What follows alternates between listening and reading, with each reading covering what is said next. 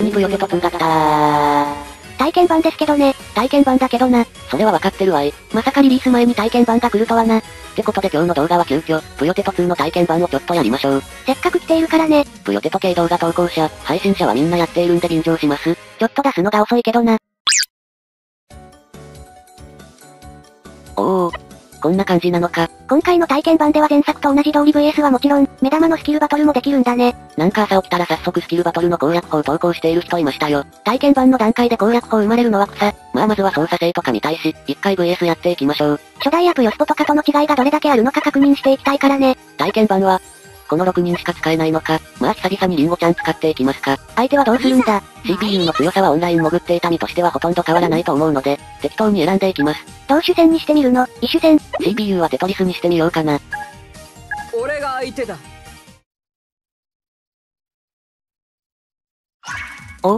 やっぱり若干ネクストが小さくなった気はするよね。そしてカサカサの音がちょっとクリアになっている。細かい効果音も一新されているな。なんか最新作って感じがしますね。プレイしているだけでワクワクしますよ。どうだ？ゲームスピードとかは？うん。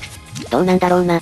ぷよスポと比べたら遅いような気もするけど、初代プヨテトと比べたらどう？うんそんなに違和感は今のところないかな。まあ僕くらいのぷよテトラーであれば満足するゲーム性だとは思うよ。なるほど。ぷよのこの絵柄も変わったよね。プヨテトやプヨスポのタイプじゃないよな。グミとかいう名前でぷよスポにあったぷよでしょ。これもデフォルトが変わっちゃうのか。って最初思ったけど、意外と慣れるもんですよこれ。さあ、積み上げて積み上げていってこれは大連鎖を狙っているんですかね。ぷよテト2、記念すべき1回目の本戦はでかいの打っていきたいですよ。そういえば動画でプヨをプレイするのも久々だよな。ぷよスポあんまりやっていなかったからね。ぷよテト2はぷよとテトで個別でリーグがあるからそれぞれやっていこうとは思っている。ぷよぷよ復活ってことですかそうだね、こっちのレートも上げていきたいし、さあツモが噛み合わなくて苦しんでいるところに相手のテトリスが飛んできた。これクラウトやられるやつっすね。なので対応してやりますよ。紫を上に置いてうまく飛ばしたな。CPU 難度に負けるわけにはいかないんだ。危うく少し振ってやられるところだったね。あまり強くない CPU とはいえど、砲は目前でお邪魔送られたらやられちゃうので、その辺は警戒しながら形を整えていかなければ。3ライン消しされたから少し振るぞ。先に2連鎖打ちましょうか。そんで総裁をさせて、これで地形崩壊を阻止させていく。どこまで伸ばしていくの？もう打っちゃおうかな。さらにテトリスも打たれたので、ってことでプヨテト2発の連鎖演出、見てみましょうか。コサイン。30イン。テグラルパーミテーショ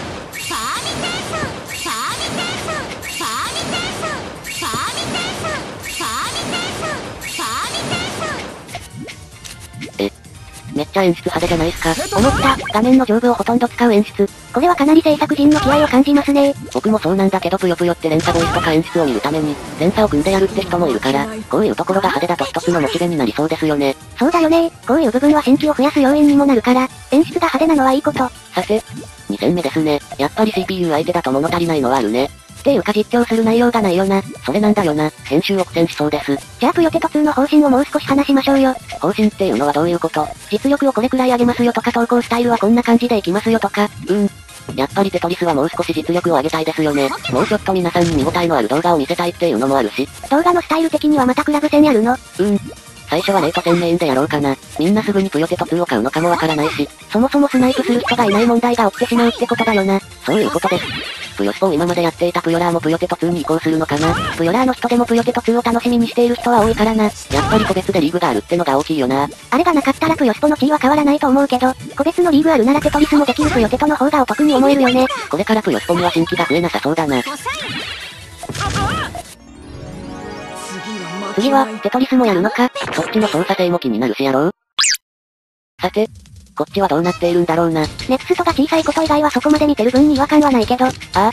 でもちょっと初代と違うね。テトリスに関しては少し遅くなったんじゃない？そうなのか、お前の操作が遅いだけじゃないのか。その可能性もあるな。もっと速度が速い人が必要。まあ慣れればこれも問題はなさそうだけどね。ネクストが小さいのはどうですか？僕はそこまで気にならないかなって感じ。そうなのか。映像で見た時は小さいの嫌だなって思ったけど実際やるとそこまで気にならないね。じゃあこっちも満足の完成度ってことでよろしいですか？僕的にはもう全然、ありですねこれは。オンライン潜るのも楽しみだな。初代のプヨテと買った時はな、このレベルの CPU に全然勝てなかったんですよね。え、この CPU に勝てなかったの？それくらいテトリスが苦手だったんですよ。でも今となっては余裕ですね。僕も初めて触った時から成長しててよかった。実況動画を40パート出せばさすがに成長はしますよってことだな。まあテンプレとかドネートの形を覚えたってのが強いけどね。そもそも T スピンとかも知らなかったんじゃないの？そういえばそうだったわ。T スピンの存在知らなかったな。なんか大学の先輩にテトリスでボコされてそれで悔しくなって覚えた記憶。なるほどな。あとプヨもテトも両方使いこなせたら単純にかっこよくね。って思ってやってたかも。テトリスに関してはまだ全然使いこなせていないが、両刀って名乗れるようにもうちょっと頑張ります。ゆっくり実況界の両刀プレイヤー名乗っていきましょう。てかさ、普通に両党ともトップレベルの人ってどうやって実力維持してるんだよ。僕とかさ、テトリスやり込んだらぷよぷよめっちゃ下手くそになるタイプやで。両方とも毎日やり込んでいるんじゃない？そういう人はマルチタスクがうまそうだ。仕事の同時進行とか得意じゃないんで片方の実力上げたらもう片方下がるのは仕方ない。それでいいのか？ぷよもサボっているからちゃんとやらないとな。ここだけの話、コラボできる相手がたくさん見つかったんですよ。ってことはしっかり練習しないとダメだね。本来の実力出せないならコラボしてくれる相手にも悪いからな。ぷよぷよももっと実力上げられるように頑張ります。次は負けないじゃあ最後にあれやりますか、スキルバトル。今回注目のスキルバトル来た。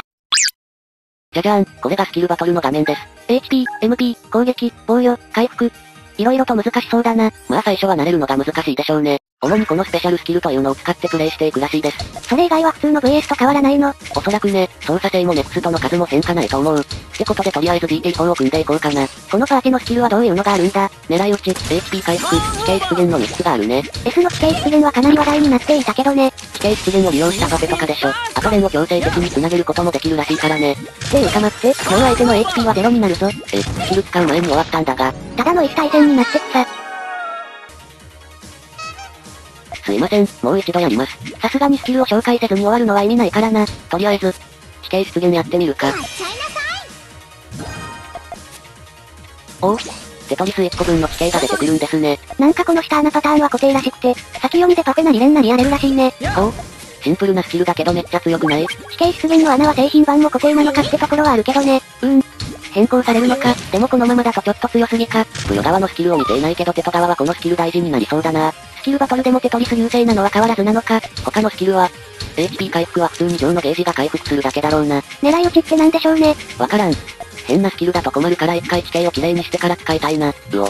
向こうは闘争を注入してきた。攻撃力アップだとよ。どれくらい上がるのか？お邪魔の送る量2倍とかになったりして、そのレベルで攻撃力上がるなら強そう。ここで CSS の謎ドネートをしていく。本当に謎のドネートだな。しかも地形が悪くなったし。これ連をちょっと繋げて下まで取ります。これでまた倒せちゃうんじゃない？どうせ倒せるならこの後に狙い撃ちを使う。これならどうだ？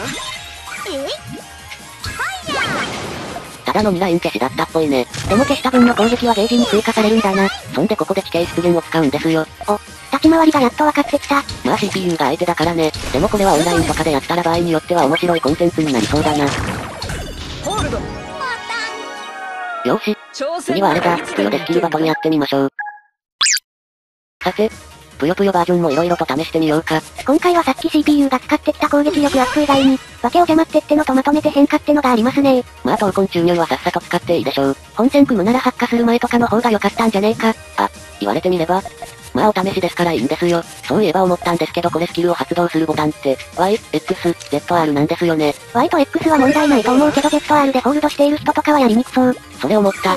僕も昔 ZR の位置にあるボタンでホールドしてたから、LR に変えておいてよかったなって今になって思うやつ。お、スキル使ったのか。まとめて変化ってやつ使ってみました。ハイパー多連結1連鎖じゃん。すげえなこれ。でもテトリス相手じゃこれくらいか。いや HP は結構削れたぞ。3分の1くらい減った気がする。ぷよぷよは1連鎖が強いとは言いますが、スキルでその強さを思い知らされましたね。さらにお邪魔変化のスキルだね。これはどうなるんだろう。全部赤になったね。